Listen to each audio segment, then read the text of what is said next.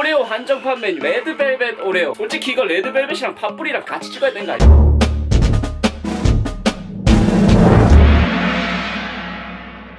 limited edition. 그냥 궁금해서 사봤어요. 가격은 마트 기준으로 1,400원입니다. 레드벨벳이라는 케이크나 이런 게 있다고 들었는데 아이돌 레드벨벳 콜라보인가? 그런 사람도 분명히 있을 거란 말이죠. 저처럼.